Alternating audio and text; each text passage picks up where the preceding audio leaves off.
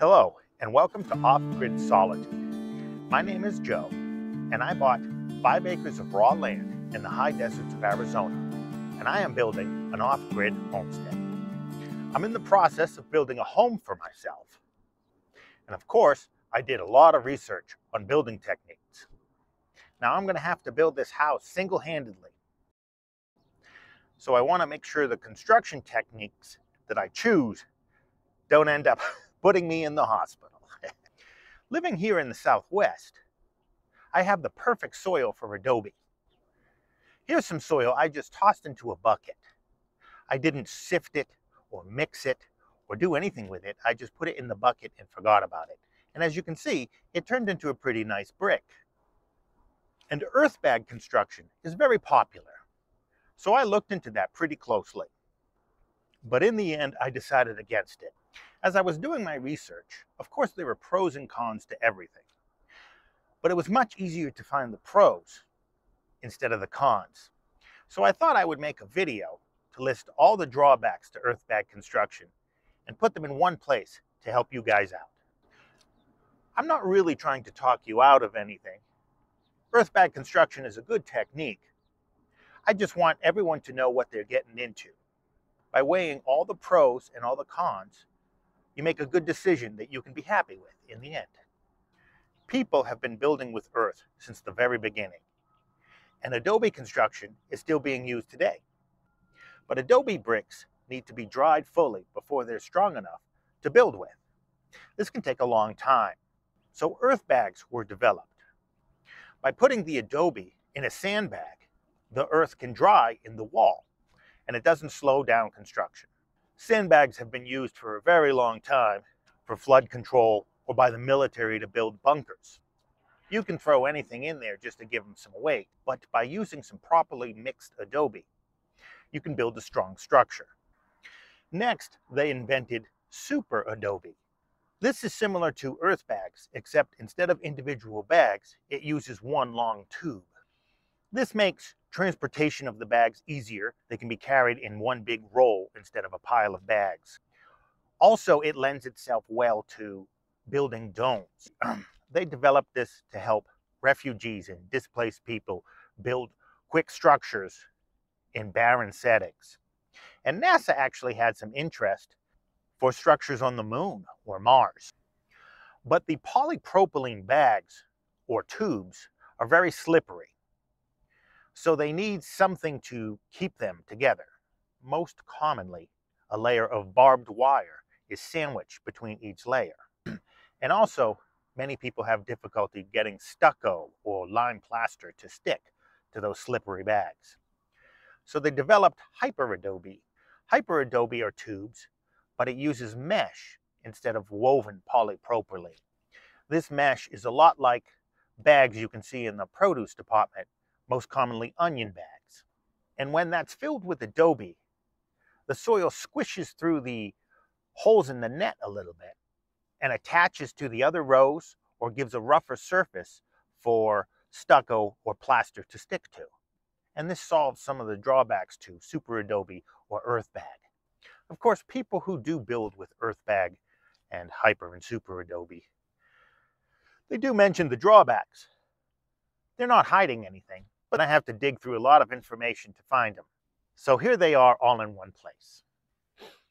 The first and biggest drawback is the sheer amount of work it takes to build this. It's easy to get a false sense of security. I thought, well, building any house is a lot of work. A stick construction with 2x4s and plywood sure would be a lot of work to do single-handedly. But building with earth is a lot more work than that you'll feel like you're being punished. It's chain gang level of hard work. it's moving tons and tons of soil multiple times.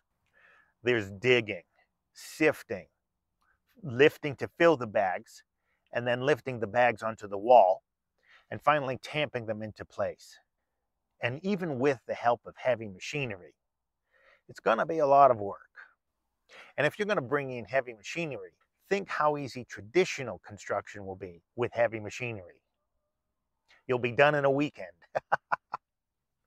the second hidden drawback is that These buildings fall down a lot. we don't see it that much. If somebody is making a YouTube video about earthbag and it falls down, they usually just stop making the video. It takes a really brave person to show their failures like that. It's just soil. It has a lot of compressive strength. Straight up and down, it can support a lot of weight, but it can be pulled apart pretty easily and it's not very strong at all with sideways loads. Hi-ya. And that's why most people build in buttresses, or you build in a curved arc instead of a straight wall. Another drawback is that if the adobe gets wet, it will lose all structure and your walls will tumble down.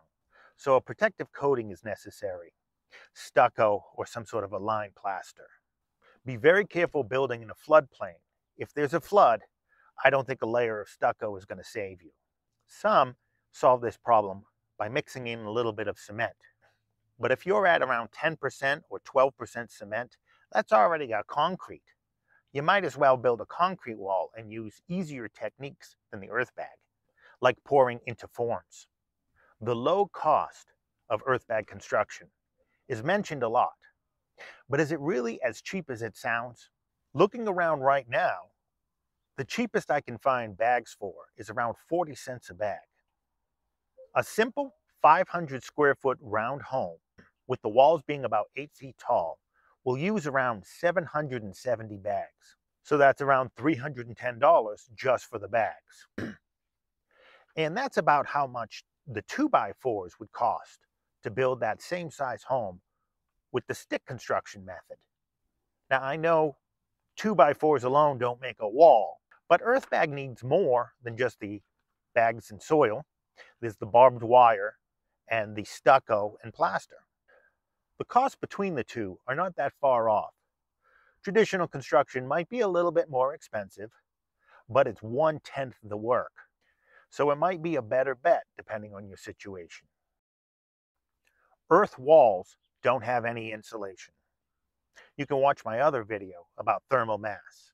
So these earth walls are going to be cold in the winter and warm in the summer.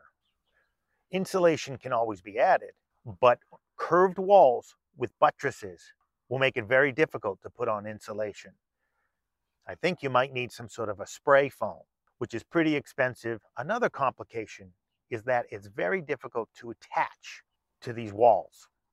I've mentioned that it's difficult to get plaster to stick to the slippery polypropylene, but it's also difficult to get a screw or a lag to hold on to this earth. The adobe hardens, but not like concrete.